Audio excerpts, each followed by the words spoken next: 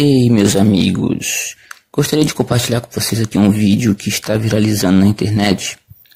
Uma polêmica aí, porque o vídeo revela marcas circulares em um manguezal que se assemelha muito aos crop circles, aos agroglifos que se multiplicam pela Inglaterra nas últimas décadas, né?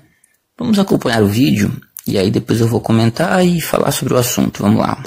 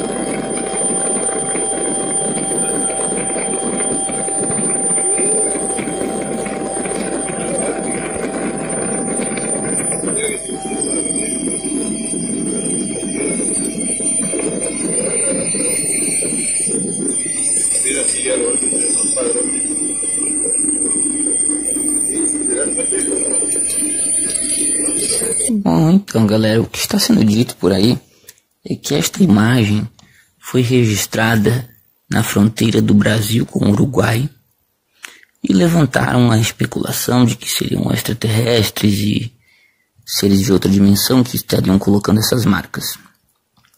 Eu logo quando vi, deixa eu botar aqui, ó. Vou botar aqui numa cena boa, deixa eu ver. Não consigo. Bom, eu quando vi, pensei rapidamente. Bom, alienígenas, óbvio que não são.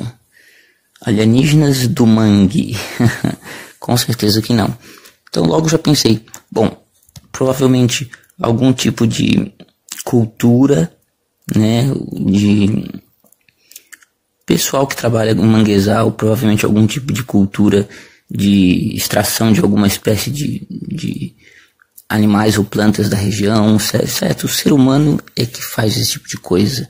Então pensei, algum tipo de agricultura da região, algum tipo de projeto relacionado a algo em, em relação a manguezais, tá entendendo? Puramente o homem, nada de mistério, pensei. Aí dei uma investigada e encontrei a resposta, que é o seguinte, vamos ver aqui, ó.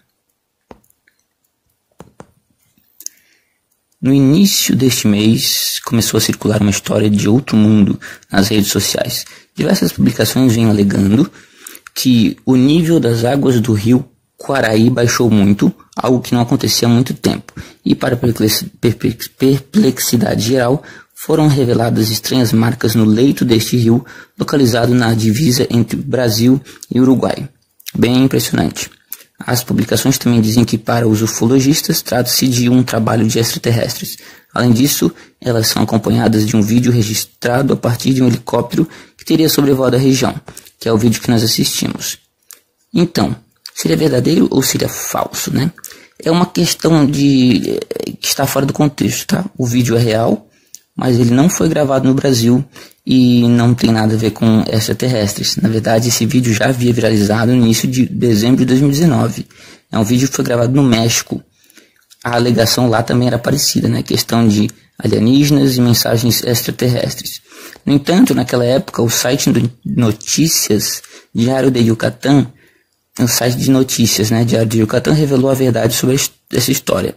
Eles consultaram pesquisadores do Instituto de Ciências Marinhas e Limnologia da Universidade Nacional Autônoma do México, que por sua vez disseram que as tais marcas circulares são referentes a um projeto de resgate de manguezais realizado há 10 anos na referida região.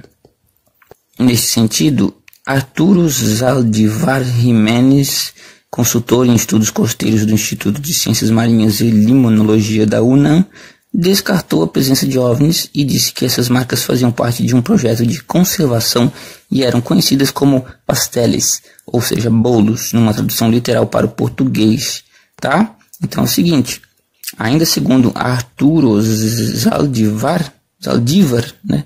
Essas elevações eram feitas com, com tais formatos porque antes eles faziam estudos topográficos que mostravam onde esses círculos de restauração deveriam ser implantados. Para completar, foi mencionado que o projeto contava com o parecer do Instituto de Ciências Marinhas e Limnologia da UNAM, da Comissão Nacional de Áreas Naturais Protegidas e da Comissão Nacional de Florestas, ou seja, Conclusão é que fora do, está fora de contexto, né? Embora o vídeo seja autêntico, ele não foi gravado no Brasil, tampouco se tratam de extraterrestres, marcas deixadas por alienígenas, né? Tais marcas circulares são referentes a um projeto de resgate de manguezais, realizado há 10 anos numa área da Praia de Barramita, em Ciudad de Carmen, no estado de Campeche, no México, certo? Então, é, este vídeo que está circulando muito aí pela internet, é disso que se trata, tá? São um resgate de manguezais, projetos humanos relacionados a manguezais. Não existe nada de alienígenas. Eu vou deixar, inclusive, na descrição é, a série que eu fiz sobre os agroglifos na Inglaterra, né?